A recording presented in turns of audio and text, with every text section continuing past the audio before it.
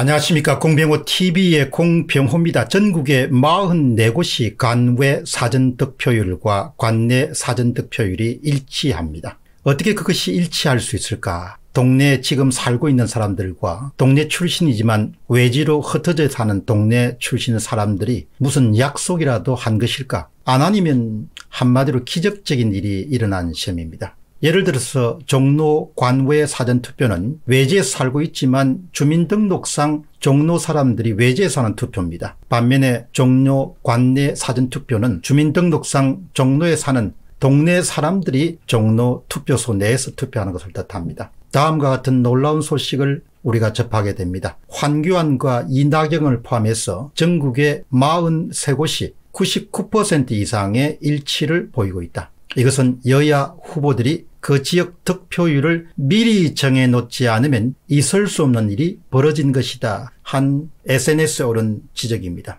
이 같은 현상은 여야 후보들이 그 지역 득표율을 미리 정해놓지 않으면 있을 수 없는 일이 벌어진 것이다. 의심스럽다는 이야기죠. 어떤 교수님들은 개인보다 정당을 보고 찍는 경향이 강하면 그리고 또 표본 샘플이 충분히 크면 관내 투표 득표율과 관내 투표 득표율이 일치하거나 유사한 경우가 많이 생기는 것은 통계학적으로 하나도 이상한 것이 없다 이렇게 주장하지만 그러나 그런 주장은 사실과 진실과 다릅니다. 관내 투표에 9,641명이 종로구에 참석했습니다. 정확하게 67대 32로 여당과 야당으로 나눠졌습니다. 관내 투표도 2만 2,858명이 종로구에 참석했습니다. 정확하게 67%대 32표로 민주당과 통합당으로 나누집니다. 이것은 기적이라고도 부를 수가 없고 초기적 같은 일이 일어난 것입니다. 보이는 손과 보이지 않는 손을 구분하면 보이는 손은 통계라고 이렇게 보면 보이지 않는 손은 뭔가가 개입되어 있을 가능성이 높다는 이야기입니다. 이런 곳이 전국에 43군데 혹은 44군데가 있다고 합니다. 이보다 더 놀라운 일이 어디에 있겠습니까? 뿐만 아니라 정확하게 일치하지 않더라도 대부분 유사합니다. 예를 들어서 고민정 대 오세훈 후보의 대결 구도를 보시죠. 관내는 58.53 대 41.47입니다. 항상 여당이 11%, 12%, 13% 사전투표에서는 앞섭니다. 유사하게 관외가 60.65%대 39.45%입니다. 정확하게 일치하지 않지만 대략 관내 투표나 관내 투표에서 고민정 대 오세훈이 거의 일치합니다. 예를 들어서 이수진 대 나경원 대결을 보시죠. 관내는 60대 38 항상 여당이 10몇 예, 포인트 정도 앞섭니다. 관내는 놀랍게도 60대 35입니다. 이거는 우연이라고 보기에는 너무나 대단한 일이죠. 어쩌면 이렇게 비슷한 숫자들이 사용되었을까 뭔가 통계적인 방법을 사용한 개입이 있지 않고서는 이런 일들이 가능한 일일까 이런 추측이나 이런 의문이나 이런 의혹을 상식 있는 사람들이면 그리고 통계적으로 약간의 훈련받은 사람들이라면 항상 제기할 수가 있는 것이죠. 첫 번째 질문은 가장 큰 의심입니다. 여러분의 도표 하나 보시기 바랍니다. 이 도표는 이수진과 나경원의 동작구을 대결 구도입니다. 총 득표수 6만 1,407표를 얻어서 이수진 후보가 당선됐습니다. 당일 득표수는 45대 50%로 구성됩니다. 그러나 관내 사전투표수하고 관내 사전투표수를 보시기 바랍니다. 여당의 사전선거 득표율이 현저하게 뜁니다. 45%에서 60%로. 나경원 쪽을 한번 보시기 바랍니다. 당일 득표율보다도 사전 득표율이 현저하게 떨어집니다. 50%에서 38%, 50%, 35%. 대부분의 격전지에 있는 야당 후보들은 사전 투표수에서 완전히 밀리면서 그것도 일정한 패턴을 가지고 밀리면서 이번 총선에서 패배하게 됩니다. 여러분들이 도표를 보시면서 찬찬히 한번 제 설명을 들어보시기 바랍니다. 21대 총선의 최종 투표율은 66.2%입니다. 이 수치는 전체 유권자 가운데 투표에 참여한 사람들의 비율입니다. 동작주을의 사전 투표율은 전국 2위, 전국 1위는 종로입니다. 30.7%입니다. 따라서 동작을의 당일 투표율은 35.5%가 나옵니다. 그것은 바로 66.2%란 최종 투표율 빼기 그 다음에 사전 투표율을 30.7%를 빼면 은 35.5%입니다. 격전지의 경우는 유독 사전 투표율이 높았습니다. 이것은 다음번 방송에서 그 이유를 제가 세세하게 여러분들에게 설명될 수 있습니다. 이렇게 격전지일수록 사전 투표율이 높은 것도 상당한 의혹의 대상이 될 수가 있습니다. 여러분 다시 한번더 설명드리겠습니다. 모집단에서 같은 어머니를 둔 모집단에서 사전 투표 집단이 모집단의 30.7%를 차지하고 당일 투표 집단이 35.5%를 차지합니다.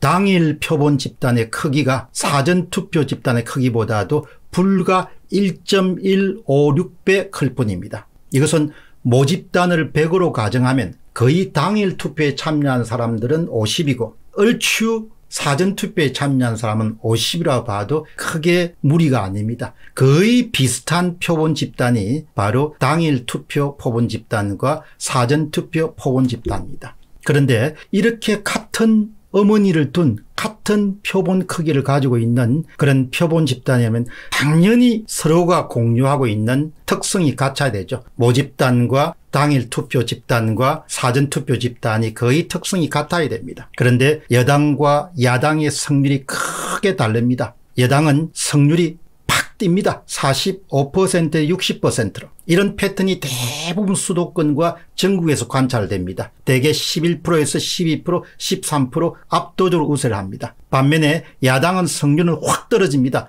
50%에서 38%가 떨어지게 됩니다. 그러니까 한쪽은 12, 3%가 올라가고 한쪽은 12, 3%가 떨어지게 되면 더블 스코어 차이가 나는데 20몇 프로 차이가 나는 겁니다. 야당의 승률은 50%에서 당일 투표에서 관내 사전 투표 득표율이 38% 떨어집니다. 그리고 관내 사전투표의 득표율은 35%뚝 떨어지는 사건은 일어납니다. 이것은 통계적으로 일어날 가능성이 거의 없는 초기적 같은 일이 일어난 겁니다. 이것이 동작 을에만 일어난 것이 아니고 그 밖에 수도권의 거의 전 지역에 특히 격전지에서는 어김없이 이 같은 패턴이 발생한 겁니다. 그러니까 사전투표에서 경쟁자인 야당 후보에 비해 가지고 11%에서 13% 정도가 더 높습니다. 그리고 사전투표에서 야당 후보는 꼭 같은 형식으로 11%에서 12% 13% 떨어집니다. 더블 스코어 20몇 퍼센트로 어김없이 지는 현상들이 자주 자주 빈번하게 발견됩니다. 확률적으로 거의 불가능한 일이 동작을은 물론이고 수도권 전체에서 일어나고 말았습니다. 모집단에서 거의 비슷한 크기의 표본 집단이 바로 사전투표와 당일투표인데 유독 사전투표에서만 여당의 득표율이 승률이 급격히 높아지고 있습니다. 이것을 누가 자연스럽게 받아들일 수 있겠습니까 그런데 사전투표에서 놀라울 정도로 여당이 우세한 것이 거의 수도권 전체에서 관찰될 수 있고 특히 유력 후보들의 격전지는 너무나 뚜렷한 현상으로 자리 잡고 있습니다. 그래서 사람들이 지속적으로 의혹을 제기하는 겁니다. 뭔가 잘못된 것이 있다는 거죠. 뭔가 그 뭔가가 앞으로 우리가 탐구하고 탐사해야 될 그런 주제입니다. 여러분 다음 주제 한번 살펴보시기 바랍니다. 당일 득표율 적용입니다. 그러면은 사전투표에서 민주당의 이수준 후보가 현저한 득표율로 승리하지 않고 당일 득표율이 적용됐다면 성패가 어떻게 결정됐겠느냐 그것을 여러분들에게 도표를 가지고 체계적으로 설명 드릴 테니까 여러분 보시기 바랍니다. 이 도표에서 A는 4.15 총선의 결과입니다. 현재 우리가 받아본 성적표입니다. 그 다음에 B는 당일 득표율을 적용한 결과 수정안입니다. 만일에 이수진 씨가 나경원 씨를 압도적으로 이기지 않고 당일 득표, 득표율이 그대로 사전 선거 득표율이 적용됐을 때 어떻게 됐겠냐. 결론부터 말씀드리겠습니다. 이수진 당선자는 기적적으로 높은 사전 투표 득표율 60% 때문에 엄청 이득을 받았습니다. 총 득표수는 8,381표를 더 얻어서 나경원 후보를 꺾었습니다. 그러나 당일 득표율인 이수진 대 나경원의 45%대 50%가 아 여기 한번 보시죠. 45%대 50%가 45%대 맞습니다. 당일 득표는 45%대 50%는 이수진 45% 나경원 50%입니다. 이것이 적용되었을 경우에는 오히려 나경원 후보가 4,848표 차이로 나경원 후보가 승리하는 겁니다. 달리 이야기하면 이수진 후보가 4,848표로 차이로 패배하게 되는 겁니다. 당일 득표수에서는 이수진 후보가 나경원 후보에 비해서 2,946표를 뒤졌습니다. 이수진 3만 1726표, 나경원 3만 4672표. 그러나 수도권 다른 지역에 특히 격전지에서 같이 당일 투표는 사전투표에서 완전히 뒤집어지는 겁니다. 사전투표에서. 모든 격전지에 다 사전투표에서 다 모든 야당 후보가 패배한 겁니다.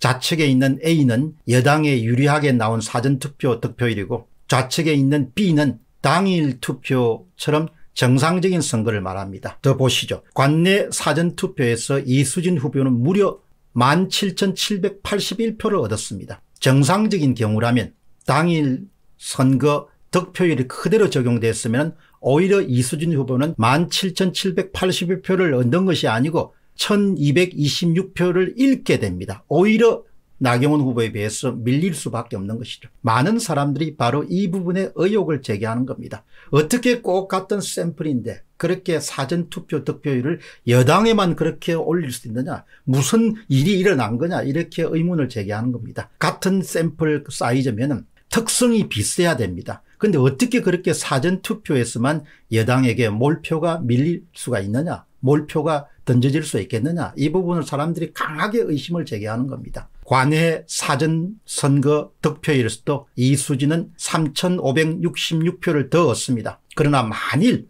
그 선거가 정상적인 선거 당일 투표 득표율이 그대로 적용되는 정상적인 경우라면 오히려 이수진 후보가 676표를 덜 얻은 겁니다. 한마디로 확률적으로 일어나기 힘든 일들이 동작 을에서 일어났고 이 같은 현상은 자료를 분석하면 할수록 광범위한 지역에 걸쳐서 거의 전 지역에 걸쳐서 체계적인 통계적 패턴을 찾아낼 수가 있다는 겁니다. 사전 선거에서 10몇 프로 정도가 여당이 더 얻고 같은 액수만큼 야당이 덜 얻고 이것이 결국은 바로 당일 선거에 승리한 많은 야당 후보들에게 고배를 들게 만들었다. 이 부분은 보통 일이 아닙니다. 보통 일이 아니고 이 부분은 분명히 통계적으로 뭔가 이렇게 문제가 있다는 그런 의혹을 제기하는 그런 제보들이 답, 속속 답지하고 있기 때문에 당분간 여러분들에게 이런 점들을 소상하게 제가 전해드리도록 하겠습니다. 통계는 거짓말을 하지 않는데 진실된 통계는 절대 거짓말을 하지 않는다. 그 점을 여러분의 유념하시고 앞으로 공병호 TV를 많이 찾아주시면 은4.15 총선의 진실을 여러분 이해하는 데 큰 도움을 받으실 수 있을 것으로 봅니다. 공병호 TV의 공병호였습니다. 감사합니다.